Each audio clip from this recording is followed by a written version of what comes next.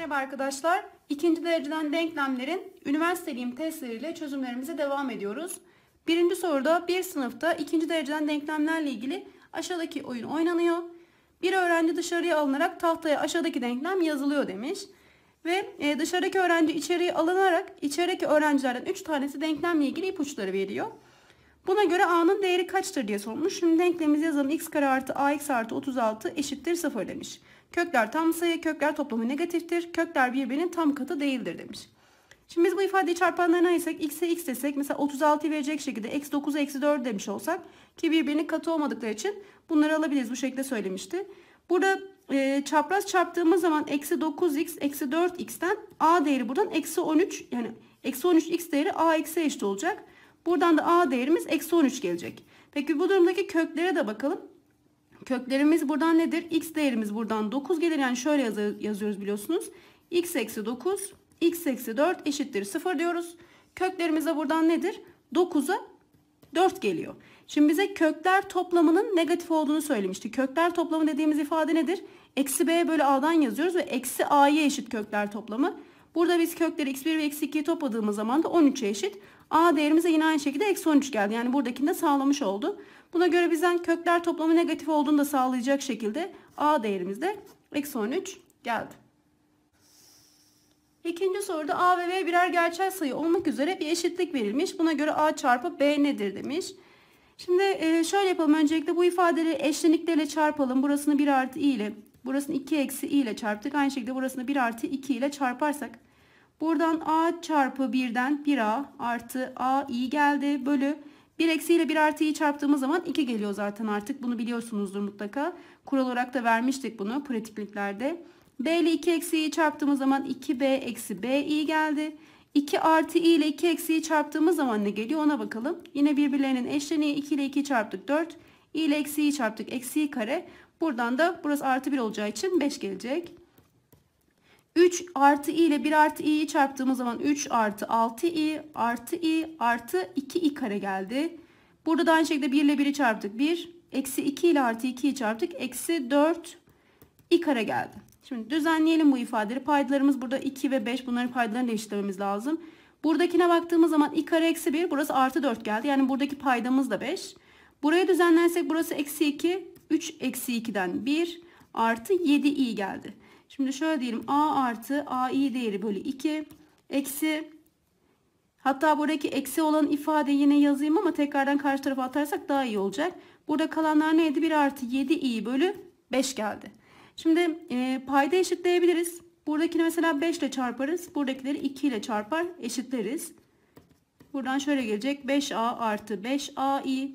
Burasını eksi 2 ile çarpacağım. Pardon 2 ile çarpacağım. Eksi 4b Eksiyle de dağıtalım. Artı 2bi eşittir 2 artı 14i var. Paydalar zaten ikisinde 10 geldiği için yazmamıza gerek yok artık.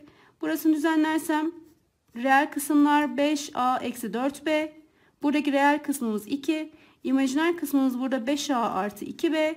Buradaki imajiner kısmımız ise eksi 14. Şimdi bu ifadeyi şöyle yapalım. Burasını eksiyle çarparsak 5a'lar gider. Artı 4b artı 2b'den 6b. Buradan da 12 eşit olur ve B değerimiz de buradan 2 gelir.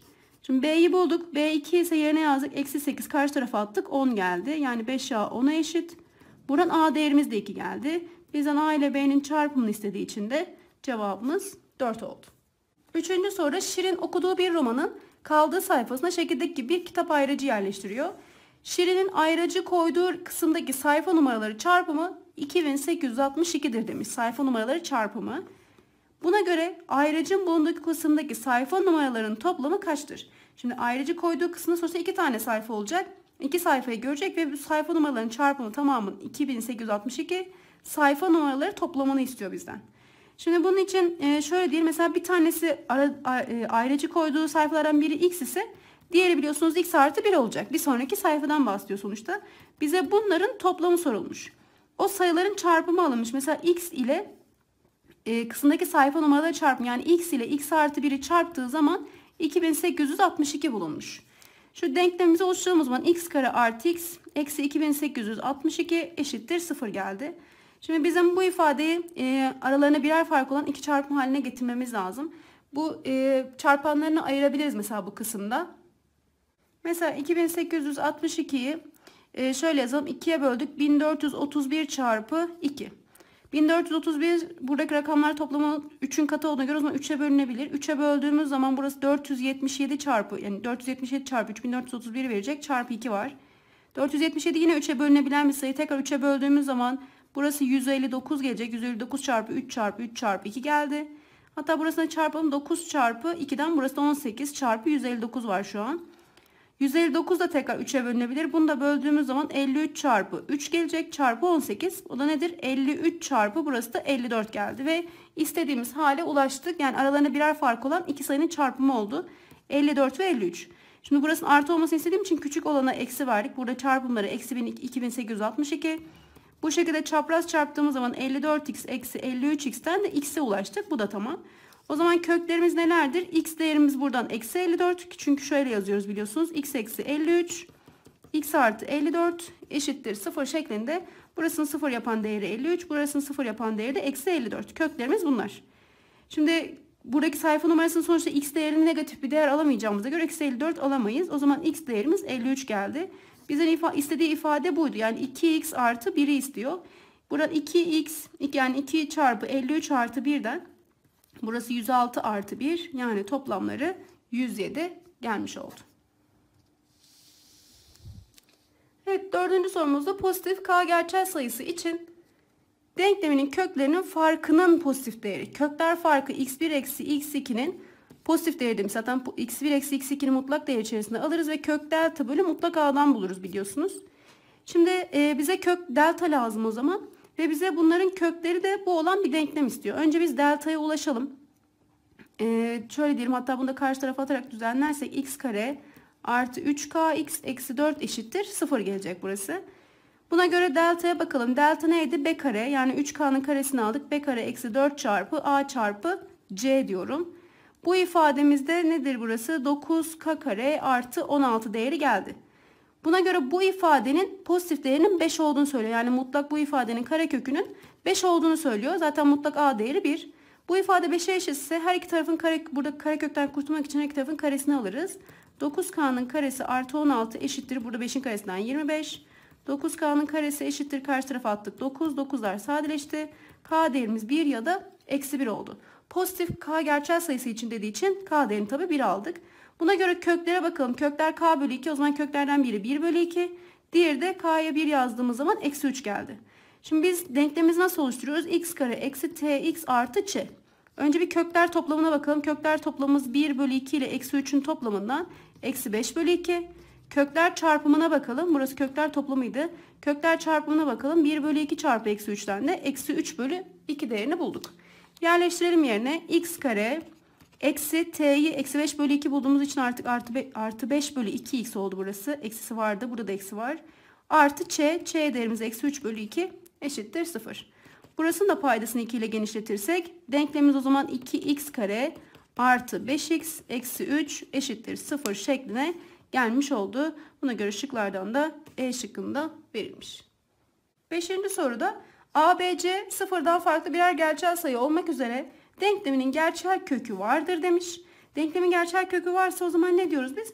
Delta şimdi e, iki farklı ya da eşit kök dememiş. Delta sıfırdan büyük de olabilir, eşit de olabilir. Ama en azından sıfırdan küçük değil. Çünkü kö, e, gerçel kök var. B'nin C'ye oranı P ve A'nın B'ye oranı da R'dir demiş. Tamam. Buna göre P'nin R'ye oranı en az kaçtır? Şimdi biz delta ile ilgili bilgi edinmeye çalışalım. Delta dediğimiz neydi? B kare eksi 4 AC zaten aynı o standart denklem verilmiş. Yani B kare eksi 4 çarpı A çarpı C'nin sıfırdan büyük ya da eşit olmasını istiyoruz. Şimdi bize mesela nasıl oran vermiş? B bölü C'nin P'ye eşit olduğunu, A bölü B'nin de R'ye eşit olduğunu vermiş. Şöyle yapalım o zaman bize B bölü C oranı gelmiş. Bu ifadenin mesela e, şöyle karşı tarafa atalım. B kare büyük eşittir 4 çarpı A çarpı C geldi. Biz B bölü C oranını elde edebilmemiz için bu ifadede mesela bir önce hatta A bölü B oranını da elde edebilmemiz için bu ifadenin tamamını B'ye bölmüş olsak buradan B gelecek. B büyük eşittir. Buradan da A bölü B gelecek. Yani 4 çarpı C çarpı A bölü B'den burası R geldi. Bize P ile ilgili de bilgi lazım. O zaman bu tarafını her tarafını B'ye bölersek burayı da B'ye böldüm. Burayı da böldüm. Şimdi burada B'ler zaten burası 1 geldi. 1 büyük eşittir 4 çarpı R çarpı C bölü B geldi. Şimdi biz B bölü C'nin P olduğunu biliyoruz. O zaman C bölü B değeri 1 bölü P olacak. 1 büyük eşittir 4 çarpı R çarpı 1 bölü P. Burada da o zaman içler dışlar çarpımı yaparsak burada P buraya gelecek. P büyük eşittir 4 çarpı R oldu. Bizden P'nin R'ye oranı istemiş. Her tarafı R'ye böldüm. Bunlar gitti. P bölü R değeri de büyük eşittir 4 geldi. P'nin R'ye oranı en az kaçtır demiş. 4 ve 4'ten büyüktür P değeri. En azı sorduğu için de cevabımız 4 oldu. Altıncı sorumuzda A bir gerçel sayı olmak üzere fx fonksiyonu verilmiş. Buna göre bir dik üçgen sağlanıyor ve A'nın değeri kaçtır demiş. Şimdi fb değeri 0 ve fc değeri 0 ise bu fonksiyonda o zaman bu denklemin kökleri köklerinden biri b ki yerine yazdığında 0'ı sağlıyorsa kökleridir. x2 diğer kökü de c olduğunu söylemiş. O zaman biz e, denkleme kökler toplamı ile ilgili bilgi yazabiliriz. Kökler toplamımız burada b ve c ise kökler toplamımız aynı zamanda neydi? x'in katsayısı eksi x'in katsayısı bölü x karenin katsayısı eksi 6 bölü 1. Yani b artı c değeri eksi 6'ya eşit. Kökler toplamı kuralından yazdık bunu. Aynı şekilde kökler çarpımından da b çarpı c'nin de biliyorsunuz sabit bölü x karenin katsayısı diyoruz. c bölü a kuralımız vardı. Buradan da a'ya eşit olduğunu bulduk. Elimizde iki tane denklemimiz var. Şimdi bunun dışında biz burada bir Pisagor var. Şöyle yapabiliriz. E, hipotenüs uzunluğumuz yani 8'in karesi artı b'nin karesi artı c'nin karesine eşit. Şimdi biz b'nin karesi artı c'nin karesi 64'e eşitlediğimiz zaman bununla ilgili e, daha önce de bir özdeşlikten bulmuştuk. b kare artı c kare ifadesini biz şöyle yazabiliriz. b artı c'nin karesi eksi 2 çarpı b çarpı c olarak yazabiliriz. Bunu nereden çıkartıyorduk? Mesela A e, yine aynı şekilde bunu yazalım. Mesela B artı C'nin karesi ifadesini özdeşliğini bulmak istesek. Burası ne demek? B kare artı 2BC artı C kare demek. Şimdi bizden B kare ve C kare istiyor. Bunları tek başına bırakmak için aslında buradaki ifadeyi karşı tarafa gönderiyorum. Ve B artı C'nin karesi eksi 2BC geliyor. Bunlar da B kare artı C kare eşit. Bunu e, aklınızda tutarsanız iyi olur. Çünkü sorularda bu tarz ifadeler çıkıyor. Direkt ben bu ifadenin yerine bunu yazabilirim. O da buradaki özdeşlikten geliyor. Şimdi bu ifade 64'e eşitmiş. B artı C'nin eksi 6 olduğunu biliyoruz. Karesini aldık 36. B çarpı C değeri de A olduğuna göre eksi 2A eşittir. 64 geldi. Ee, eksi 2A'yı karşı tarafa alalım. 36 eksi 64 eşittir 2A geldi. Çıkarttığımız zaman da buradan ne gelecek? 24 değeri pardon 28 değeri gelecek. 2A'ya eşit eksi 28. A değerimiz de buradan eksi 14 olacak. Bizden zaten A değerini istemiş. Cevabımız A şıkkı geldi.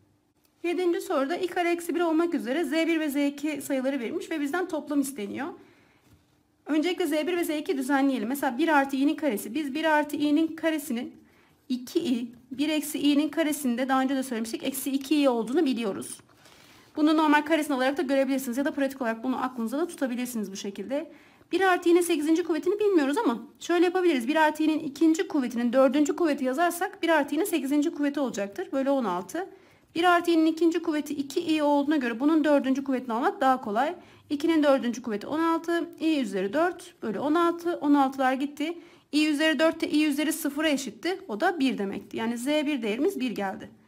Şimdi burada da z1 eksi i demiş. Yani z2 sayısını şöyle oluşturuyor. z1 yerine 1 yazdık. 1 eksi i'nin dördüncü kuvveti. Bunda aynı şekilde 1 eksi i'nin ikinci kuvvetinin ikinci kuvveti yapabilirim. 1 eksi i'nin ikinci kuvveti eksi 2i bunun ikinci kuvvetini aldığımız zaman burası zaten eksi 2. İkinci kuvvetini aldığımız zaman 4 i kare gelecek. i kare değeri de eksi 1 olduğuna göre burasını da eksi 4 bulduk. Yani z1 değerimiz 1, z2 değerimiz de eksi 4. Bizden bunların toplamını istediği için cevabımız eksi 3 geldi. 8. soruda iki denklem verilmiş bize buna göre x çarpı y nedir demiş. Şimdi burada x kare eksi y kare artı 2xy ifadesi verilmiş ve eksi 8 olduğu söyleniyor. y eksi 3x 0 eşit. Şöyle diyelim 3x'i diğer tarafa alırsak y değerimiz artı 3x'e eşit.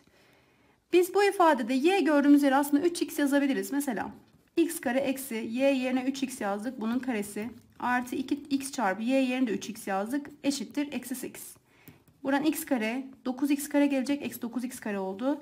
Buradan da artı 6x kare eşittir eksi 8. Buradan eksi 3x kare artı x kare daha eksi 2x kare eşittir eksi 8 geldi. Eksi 2'ye böldük her tarafı. Buradan 4. X kare 4'e eşit oldu. X değerimiz o zaman 2 ya da eksi 2 olacak. Şimdi X 2 olursa şöyle yazalım. X değerimiz 2 gelirse Y değerimiz 6 olacak.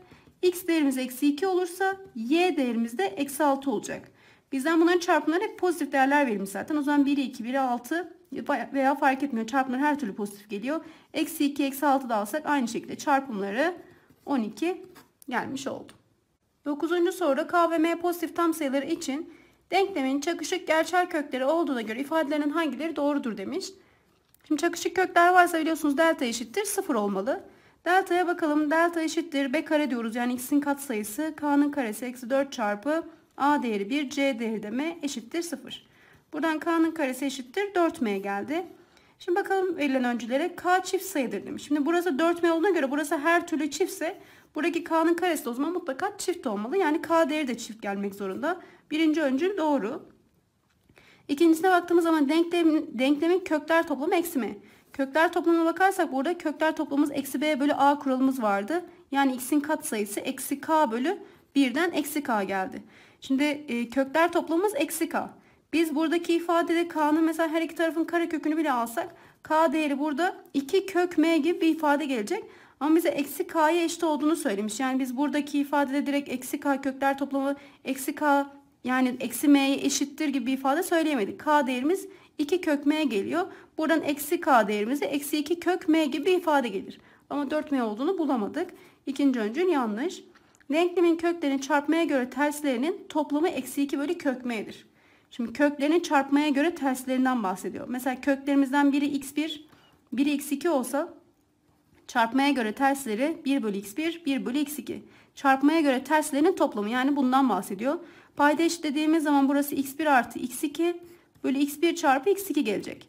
Kökler toplamımız biraz önce söylemiştik. Eksi b bölü a'yı eksi k bulduk. Bölü x1 çarpı x2 değerimize c bölü a'dan m geliyor.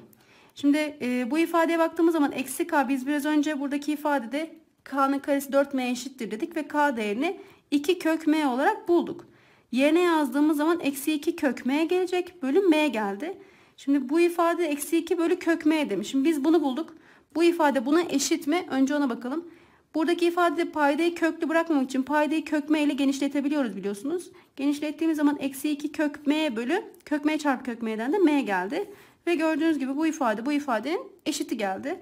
O yüzden denklemin köklerinin çarpmaya göre terslerinin toplamı eksi 2 bölü kök m ifadesine eşit oldu. O yüzden de cevabımız 1-3 geldi.